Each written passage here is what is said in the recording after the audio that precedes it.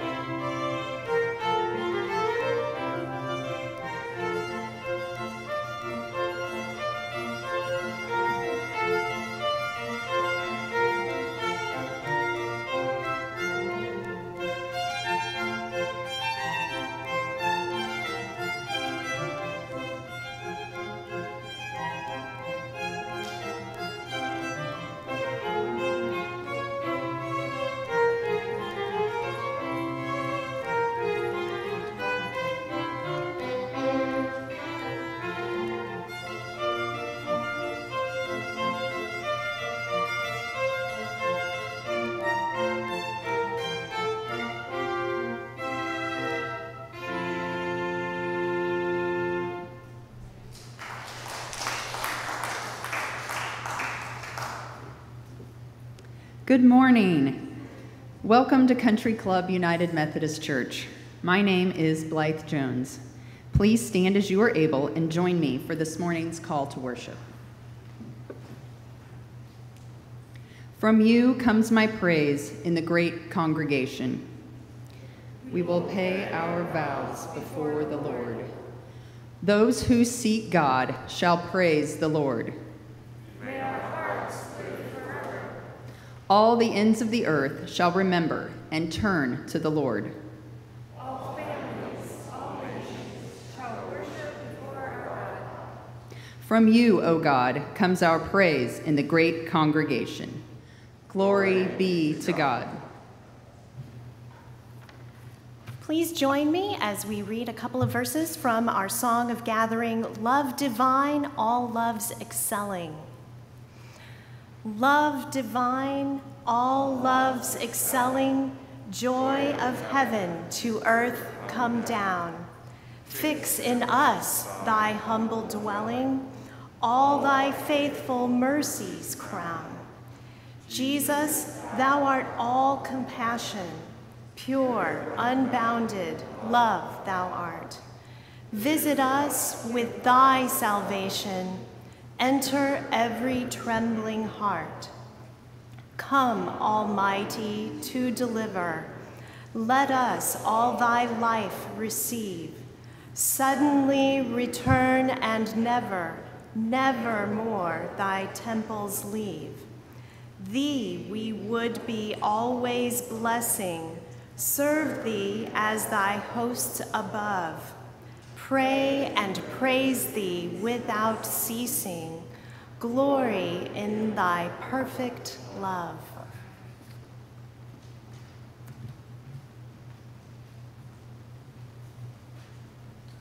Please join me in our opening prayer.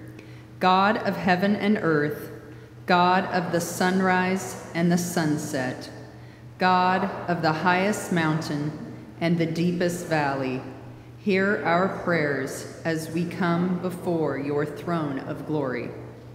Declare your message to us and grant us the courage to listen. May our listening turn to action. May our actions touch the hearts of those who need to hear your voice. We put our trust in you, knowing that it is well placed in your gentle and caring hands. In Jesus' name we pray. Amen. You may be seated.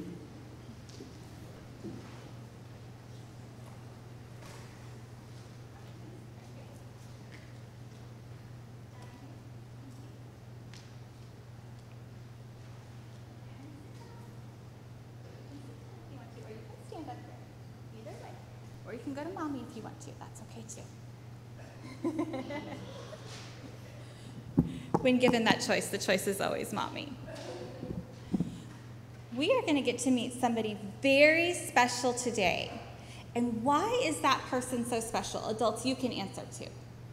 Why is that person so special that we get to meet today?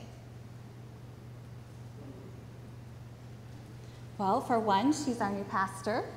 Why else is she special, Emma? Why is somebody special? Now you're going to be shy. Of course you are. Um, she's a girl. That makes her special. What else? What else makes somebody special? You don't know? You don't know today? Ripley, why else is Pastor Angie special? Because she's your mommy, isn't she? But you know what? We are all special, and we are all special because we were created by God. And God made us all fearfully and wonderfully and unique and different. And today I have a story for us. And this is by one of my favorite authors in the whole world. His name is Matthew Paul Turner. And I love his pictures that he uses. So if you can't see him, hopefully you'll be able to. Um, we'll put it out in the foyer so you can look at him too.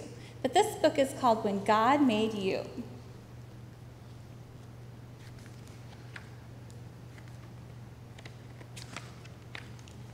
You, you, when God made you, God made you all shiny and new, an incredible you all on your own, you unlike anyone else ever known.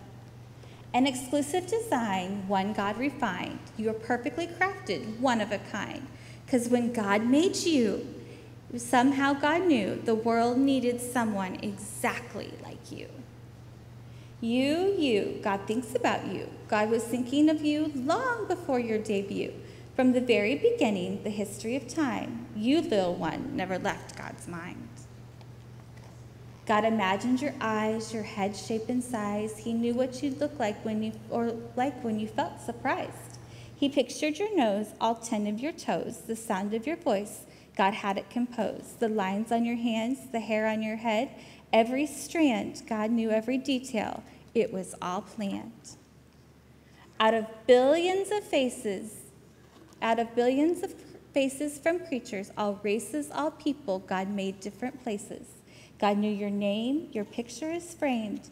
God's family without you would not be the same. Because when God made you, this much is true. The world got to meet who God already knew. You, you, when God sees you, God delights in what and sees only what is true. You, that you, yes, you, all of your glory, bring rhythm and color and rhythm and rhyme to God's story. So be you fully you, a show stopping review. Live your life in full color, every tint of your hue. Discover, explore, have faith, but love more. And listen and learn and relearn all that God has made for you. Use your talents and passions, the gifts God that God fashioned. Think up ideas and put them into action. Because God loves you creating, your true self displaying when light that you made through you is portraying, when make believe stories perceived, the heroics, the magic, those tricks up your sleeve. When you dance alone, spinning like a cyclone, the beginning of whoever, whatever, a world of all your own. God smiles, and here's why. You're the spark of his eye, a familiar reflection that shines bright from inside. Because when God made you, the world oohed and awed. In heaven, they called you an image of God. Look at the bunny rabbit. Isn't that funny? You, you, God dreams about you. God dreams about all that in you will be true. That you, God's you, will be hopeful and kind, a giver who lives with all soul, heart, and mind a dreamer who keeps big and small things, who keeps dreaming in journeys upstream. A mover, a shaker, a lover of nature. A builder of bridges, you, the peacemaker. A you who views others as sisters and brothers and lives by these words love one another. a confident you, a brave, brave and strong too. You being you being you is God's dream coming true. Because when God made you, all of heaven knew, all of heavens was beaming. Over you, God was smiling and already dreaming. So we're going to get to meet somebody very special today for lots of reasons. But the thing that makes her the most special is that she is a child of God and she was created by God. And God called her for a very special purpose. And that purpose has called her here to be our new pastor. So as we learn about her today, we get to know that she is a child of God. In your bags, and adults, you're welcome to grab one out of these bags if you want to, too. There are these little cardboard people that you can decorate and you can decorate them as you, and then you can give them to Pastor Angie, and they go together, kind of like this. And so she can have a little collage on her wall of all of us, our versions of children of God, and get to know us in our decorated versions as we get to know her. Okay? Will you guys pray with me? Show me your prayer hands. Not today? Okay, that's cool. Gracious God, thank you for loving us so much. Thank you for creating us in your image. Thank you for knowing exactly what we, you, you, we wanted us to do. We thank you for creating Pastor Angie. And we thank you for all that she's going to bring to our church. We pray that you would be with her on this journey and that all of us would be willing participants. Help her to guide us, help us to guide her, and help this church to come together as we enter a new adventure that you have already planned for us. We ask all these things in Jesus' name. Amen. All right, let's. Special. so thank you for um, welcoming. Good morning, everybody. My name, hey, back there. My name is Angie Colina McNeil. I am the new pastor here at Country Club United Methodist Church, and I just want to say thank you to everyone so far. You've all made me feel incredibly welcome, and I am so excited for this adventure that is ahead of us as we partner together with Jesus Christ and with one another as we transform the world and we make disciples of Jesus Christ. So I want to say hello to anybody that is joining us in the virtual online world. And also, I want to make a special hello to the folks over at Kingswood. We miss you here in the sanctuary. I can't wait to get to know you. I know they've put up plexiglass now, so that's going to be great that I'll be able to come and meet you in the coming days and coming weeks. So thank you, everyone, for welcoming me here this morning. So, Jesus taught us when we come together, we should pray for one another. So at this time, I would invite you into a time of prayer as we lift our hearts to the Lord. Would you pray with me, please? Almighty God, your love is beyond all understanding. Your mercy is beyond our comprehension. You are the one who created all that we see, all that we touch, all that we hear, all that we taste. And you, you, oh God, have created us in your image, and you love us to the end of time. Almighty God, we lift our hearts to you in prayer. Though you know us, God, you know us so well. There are times where we are captive to our sinful nature, to our self centered ways, and we are ever so thankful that your love releases us. For those times, God, when we have turned from you, when we have not fully loved you, when we have not fully loved our neighbors, we lift those prayers to you now in silence.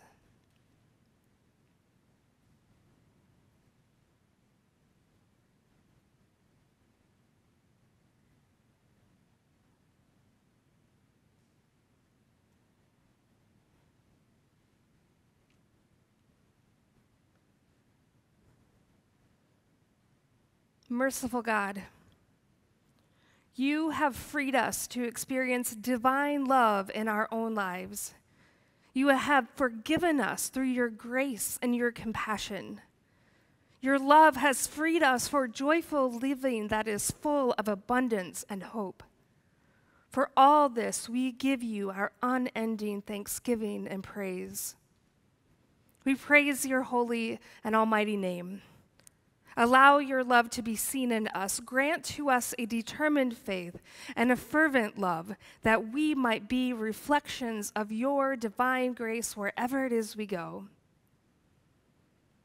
Hear our prayer, O Lord, as we offer our lives in the name of the one who is love, your Son, Jesus Christ, who taught us to pray in this way Our Father, who art in heaven, hallowed be thy name. Thy kingdom come, thy will be done, on earth as it is in heaven. Give us this day our daily bread, and forgive us our trespasses as we forgive those who trespass against us. And lead us not into temptation, but deliver us from evil. For thine is the kingdom, and the power, and the glory forever. Amen.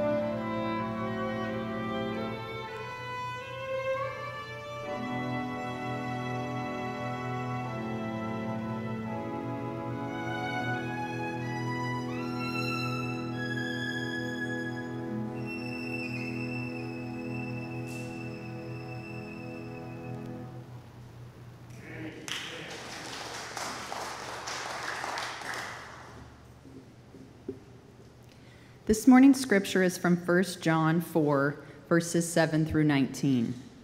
Beloved, let us love one another, because love is from God. Everyone who loves is born of God and knows God.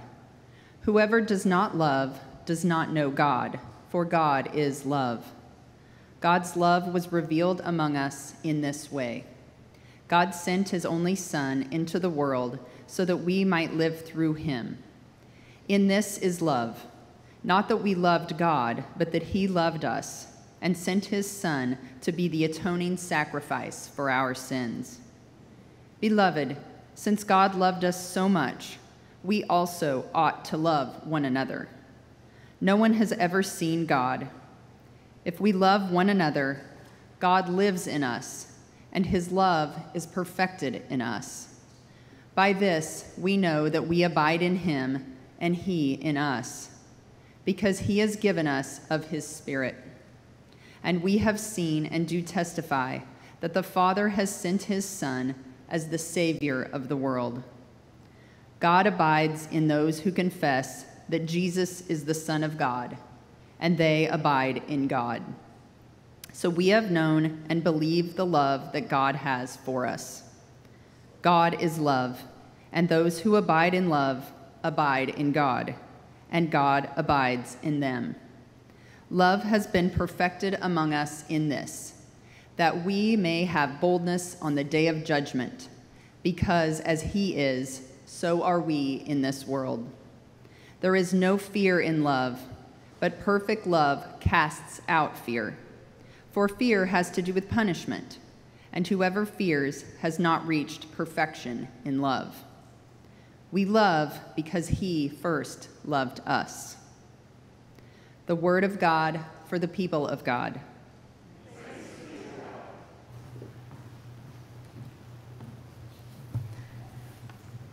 For this morning's song of proclamation, we will all sing verse 1, and then left side, we're going to let you read verse 2.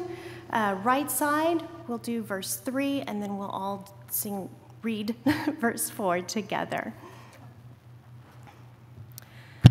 How can we name a love that wakens heart and mind, indwelling all we know or think or do or seek or find? Within our daily world, in every human face, love's echoes sound and God is found hid in the commonplace. If we awoke to life built on a rock of care that asked no great reward but firm, assured, was simply there, we can, with parents' names, describe and thus adore love unconfined, a father kind, a mother strong and sure. When people share a task and strength and skills unite in projects old or new to make or do with shared delight, our friend and partner's will is better understood. That all should share, create, and care, and know that life is good. So, in a hundred names, each day we all can meet a presence sensed and shown at work, at home, or in the street. Yet every name we see shines in a brighter sun. In Christ alone is love full grown, and life and hope begun. Amen. Thank you. Well, good morning again. My name is Pastor Angie Colina McNeil. It's my first uh, Sunday with all of you. And um, tell me this is this kind of an awkward thing with the mask on? And how many of you have gotten used to the mask yet? Anybody? Anybody? Nobody. Okay, me neither. So um, I'm really glad to be here with you this morning. If you're joining us just now online, you are welcome in this space, and I'm so happy that you are here. Earlier this week, actually past two weeks, I sent out through the news you can use, uh, asking for you all to send me questions because since we're living in this very strange time, I thought we would kind of mix it up for my first Sunday. I mean, it might as well, right? So I've asked Blythe to ask me the questions that we've compiled from the the questions that you all sent to me. So we're gonna pull up a chair and we're going to just have a cozy fireside chat and uh, just you had questions about me, and I'm going to answer those questions for you today. Thank you, Nicole. Let me grab my stuff. I do have notes because I am a pastor and I love to talk, so um, I don't want to get long-winded for your sake. So, so thank you, everyone, for those of you that um, that were able to send us some questions. So. Thank you, Blythe, for yes. being so willing to ask me all these questions. Absolutely. So. Welcome. We're excited for this morning to finally be here. Thank you. And I think everybody's smiling behind their masks, right? I think everybody should like put like like smiley faces on their masks. well, thank you for uh, welcoming me here. So go ahead, Blythe. Okay. Blythe. Question number one. How did you become a Christian? How did I become a Christian? So um, that's actually a really, really, really long story because it, it took a while for me to become a Christian. And I'll be sharing that with you in a couple of weeks. In two weeks, I'll be talking about my call story. And my call has a lot to do with my conversion, how I became a Christian. So stay tuned for week three of this sermon series. But, you know, I grew up, um, I didn't really go to church very much. I did go with my grandparents between second and fourth grade. They are charter members at a church in Independence. It's called uh, St. Paul's United, St. Paul United Methodist Church, and I used to go with them from second between second and fourth. But in my nuclear family with my parents, we were more of the you know the Christmas and Easter crowd, so, and sometimes we didn't even go to Christmas and Easter. It just wasn't part of our family DNA to to be um, churchgoers. But when I was I was probably seven because I could read by then, and my grandma handed me the Lord's Prayer, so I know how to say that in church, and so we went there. So I know it was second grade. And I began in those three years that I went to learn a little bit about Christianity. I learned a lot about who Jesus was. But one of the most important things that I learned in that experience is that God is love. It was in that place where I felt welcomed, I felt included, I felt accepted, I felt like I belonged there. And but the problem was is that when we moved to Ecuador when I was 10, we stopped going to church. I stopped going to church. My family hadn't really been church goers. We would go here and there. There was an English speaking church in Quito where we lived. Um, but church attendance was spotty. And then when I was in high school, I kind of experimented. I went to youth group at the Catholic school, uh, Catholic church. They had really cute boys there, so I went there. Um, but when I got older and I moved back to Kansas City, I went with my grandparents here and there. Um, and, but when I was 19, I took this class in college. It was called uh, Philosophy 101. Have you heard of it? So I took Philosophy 101, and from there on out, I decided that I didn't believe in God. I just felt like, you know, I'm 19, I study philosophy, I'm super smart now, so there is no God. But I still would go from time to time with them.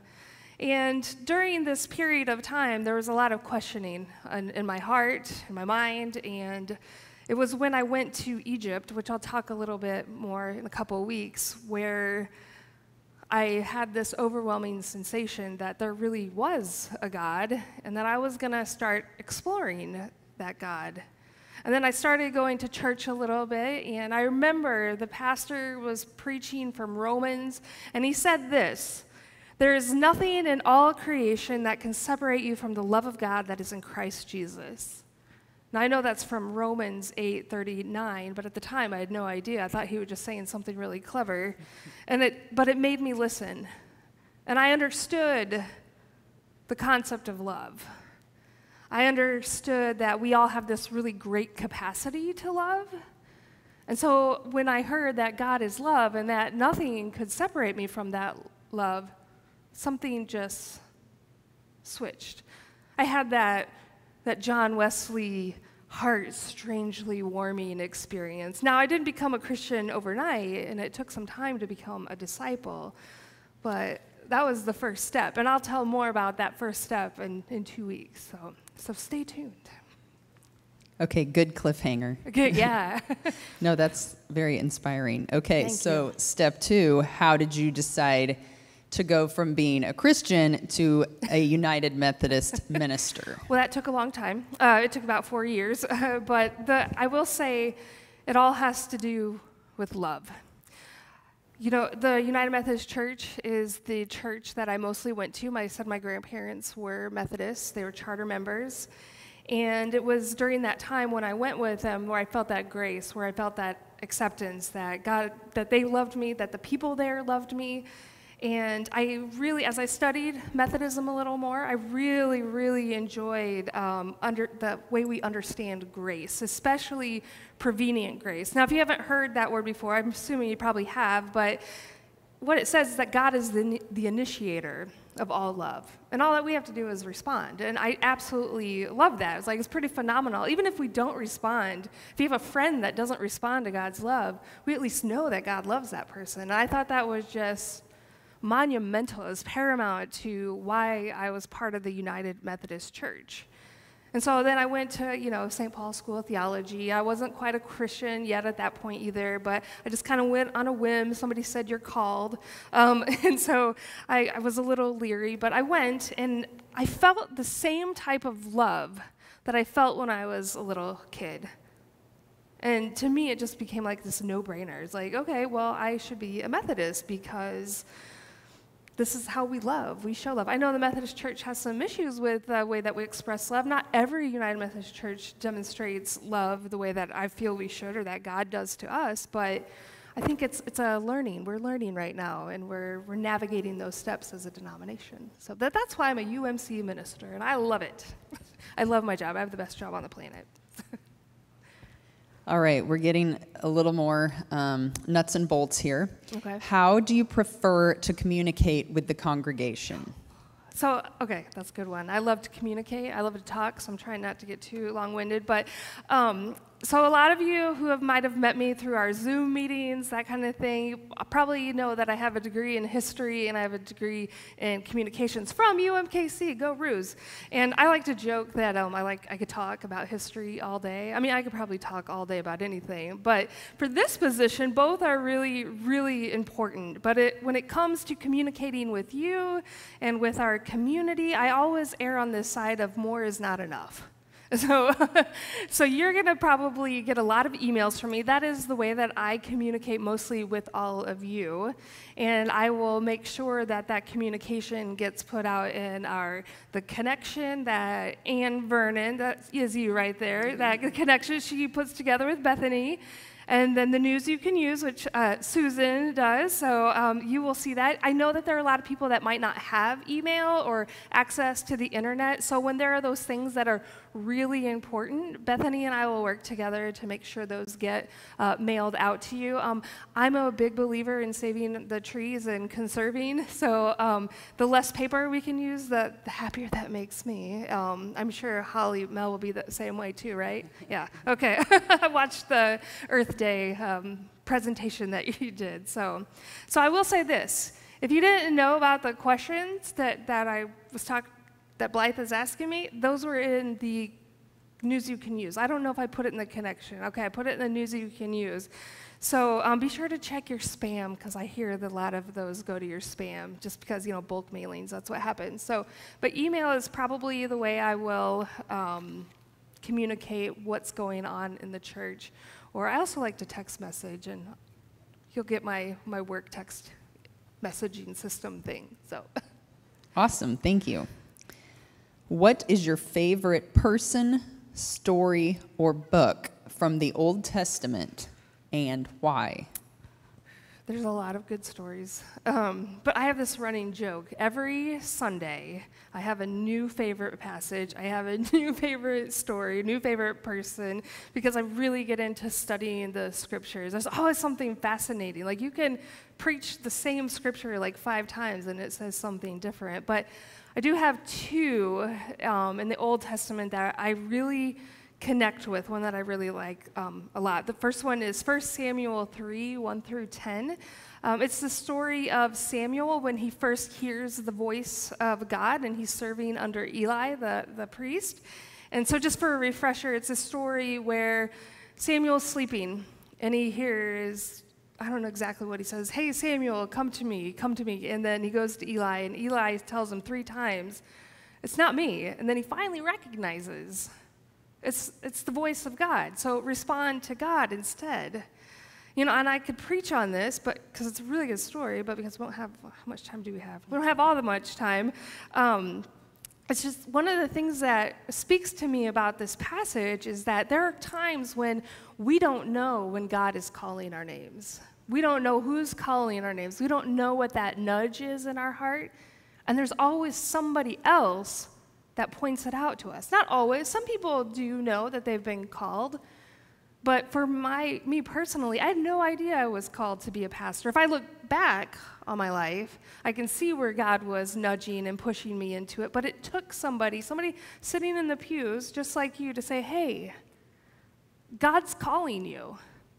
You're meant to be a pastor. And so I, it's always a good reminder that we need each other to point out these things in one another when we're called by God. And we're all called in some way to ministry, not just pastoral ministry, but the ministry of hospitality, the ministry of cleaning up the creek. I think it's a creek that I saw running right up there. So we're all called. And we all have a responsibility to call each other into the ministries we see God calling us to. And of course, my other one is from 1 Kings 19, where Elijah hears the voice of God in a still small voice. But I'm not going to talk about that right now because we're going to talk about that in a couple weeks. So now you know the scripture we're going to talk about in two weeks. So, so stay tuned. Okay, same question favorite person, story, or book, but from the New Testament and why? Okay, my favorite story. Well, I love Paul, but my favorite story is from John 4. It's the woman at the well. Y'all know that story?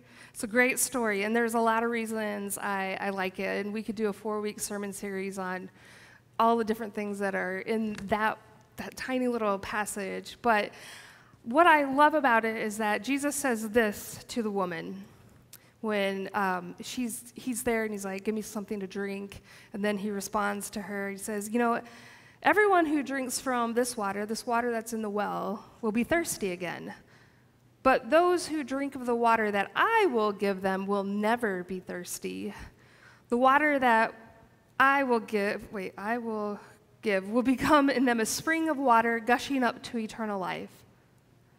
So I, I, just love that because it's this is the fount of all of our lives. Jesus Christ is the, the living water, and it's through Jesus Christ that, that our lives are transformed into a life dedicated to God and lives that are abundant and full of blessings, whether we recognize them as you know the things that we have or just the way that we interact with the world. So I just love this story because immediately her eyes are open and she goes and she runs into the city, into the town, and she tells them, I have seen the Messiah. He knew everything about me. And her life is transformed in that moment. And the other reason I really like this story is kind of for obvious reasons because she's like the first preacher and she's a woman. So, yeah, go ladies, right? so, so I, I just that story is, is great, and there's all kinds of other reasons that I, I love it. So thanks. Okay. Who is one of your favorite writers of Christian themed subjects and why? Yeah, so Christians have been writing for 2,000 years. so um, there are a lot to choose from. I like some of the ancient mystics, like Hildegard is one of them. Um, but there's two for sure, and I couldn't narrow it down to one because I think they're both equally good. There's Paul Tillich. You will often hear me refer to him as my boyfriend. Paul Tillich is no longer living, so that's okay. Um, he's, my, he's my spiritual boyfriend. And um, he writes about, how, I, I like how he defines God. He defines God as being itself. So it's, he's not, God is not a being among other beings. It's not like human being, God, this being. God is the being of all things.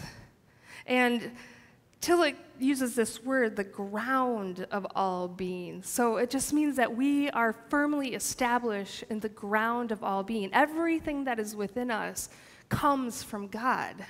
I just love that because anytime that I, I meet somebody new, somebody that I disagree with, I, all I can think to myself is, this person is also grounded in the very being of God. Everything around us is um, it's evidence of God alive in the world. So I just I just love that idea of the ground of all being. And I do talk about that a lot. So however long I'm here with you, you're going to know who Paul Tillich is really well. So I might even encourage you to read some of his books, but they're very difficult to read. So but they're good. They're great.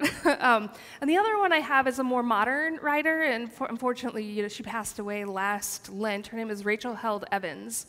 And I love Rachel because she really exposes how the church throughout time, especially in our time, has had this tendency to not be relevant. I think the church is incredibly relevant, and I've never been harmed by the church, but she helps open my eyes to how it is the church in general, not just the United Methodist Church, has, has been damaging and she exposes why people are leery of coming into the church.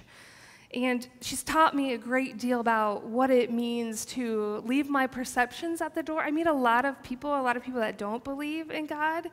But what, it, what she's taught me is that my role sometimes is just to sit and listen to people. And then when I hear where there's harm or where there's leeriness, my job is to tell them, even if we're not friends, I love you. Because love comes from God, and if it comes through me, they've at least experienced the love of God in some way. Like, and I know this congregation knows what that means because I got an email from Nancy Smith, who is at Kingswood, and at the very end of her message, she was welcoming me to the church. She wrote, My love is with you. And I thought, that's just really amazing. This woman's never met me. But yet she says, My love is with you. That's God's love flowing through her. So if I think if we as Christians espouse that and just incorporate that into our daily living, then people will see that the church is relevant. And we're made up of human beings that sometimes do harm one another, but that we're working on not harming one another. So I just, those are my two big ones. Good question. Okay, this is a good one too. Okay. In your opinion, what are the best ways for us to fulfill the Great Commission? Yeah. Um, well, first of all, I have uh, lots of opinions, and there's. Uh, I have lots of ideas about things that we could do as a church to be in our community and reach out to your community. But here's the thing we're in this together. It's not just me coming up with an idea for how it is we go into the world to make disciples. It's about you, and it's about the way we share in that life together. So we're going to do something really kind of unconventional. We're living in strange times. Let's just be unconventional, right? Um, I'm going to ask you to yell across the pew or behind you, keep your mask on, what it is you believe this church is called to do. I know it might be awkward, and if you're not comfortable doing that, that's quite all right. We're going to have my phone number up here. This is my work text number. It's coming up soon, or my email address. There, oh, not the work phone, but the cell phone there. That's my texting line. And there, if you have ideas about what it is this church should be doing in the world, I want you to send them to me. And if you're online, you can write them in the comments and I'll respond to you later this afternoon. Um, but your opinions, they matter. So I want you to share with each other, be unconventional, and share with each other what it is you see this church doing to go out and make disciples of Jesus Christ. So I'll give you a minute. It might be a little awkward, but it's going to be great. It's going to be fantastic.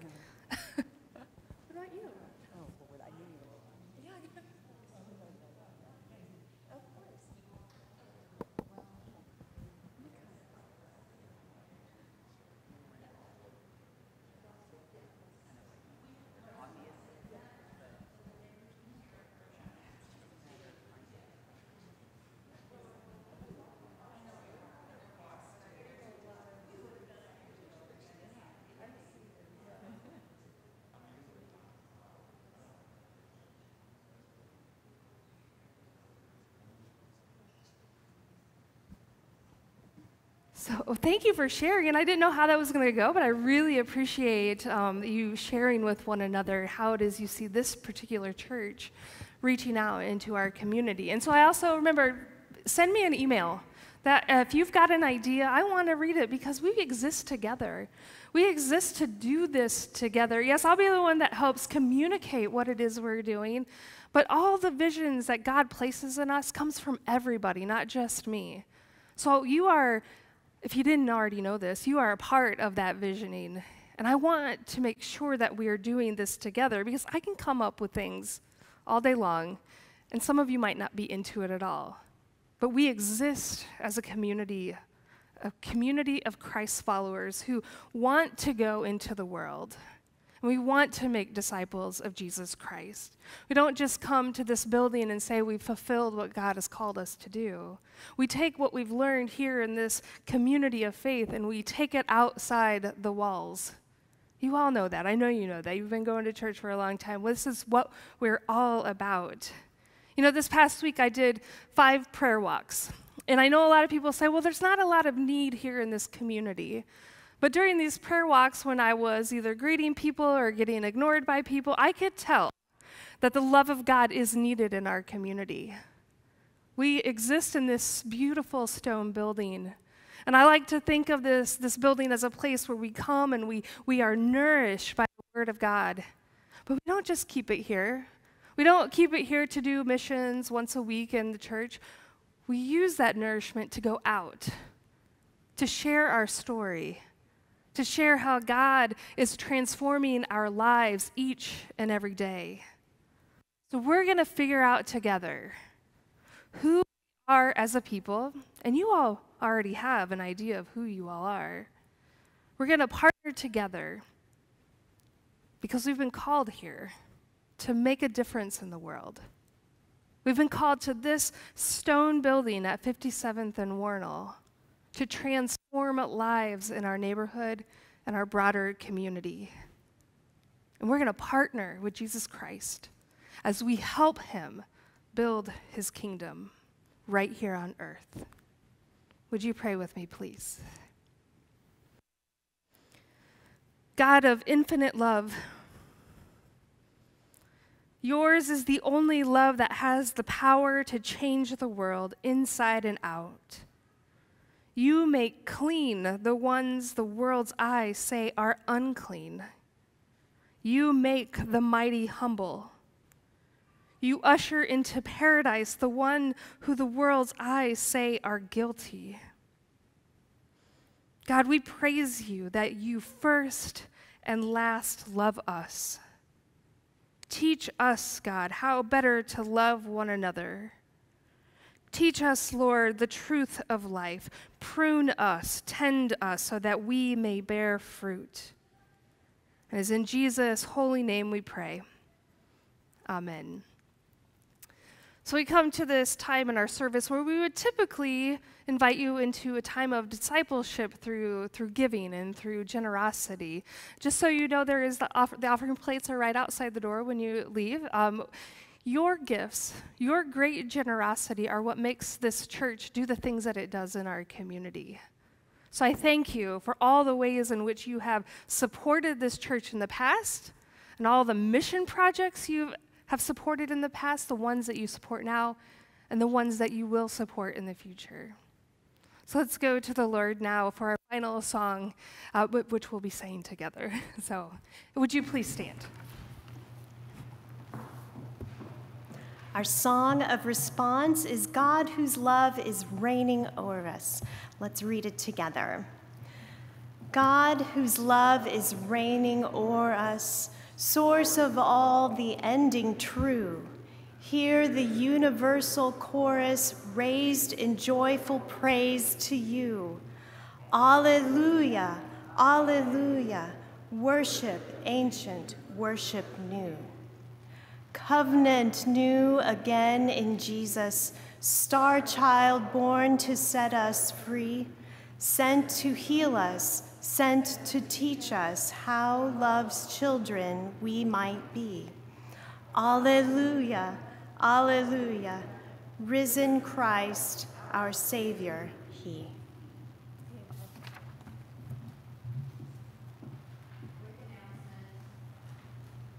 Thanks, Kyle. Quick announcement the party continues immediately following worship. If you would head outside, and there will be ice cream treats again.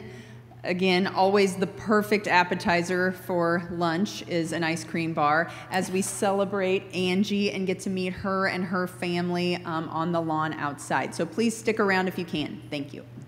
Thank you. I'm looking forward to that ice cream. And thank you for the sign. Did you make that sign out there? That's really sweet. Thank you. Did you all see the sign when you came in? There are balloons on it. Be sure to check out the sign. Blythe made that. So thank you, everyone, for um, welcoming me into this space. I'm so glad to be here. I told Nicole and Anne Marie this week. I'm so excited. Like I was nervous, but now I'm like, I'm so excited to be here and to be a part of this congregation. So thank you so much for welcoming me into this community of Christ followers. So as you go now, go in grace and peace. Go knowing that the blessings of God the Creator, God the Redeemer, and God the Sustainer are yours now and forever. And the people of God said together, Amen. Go in peace.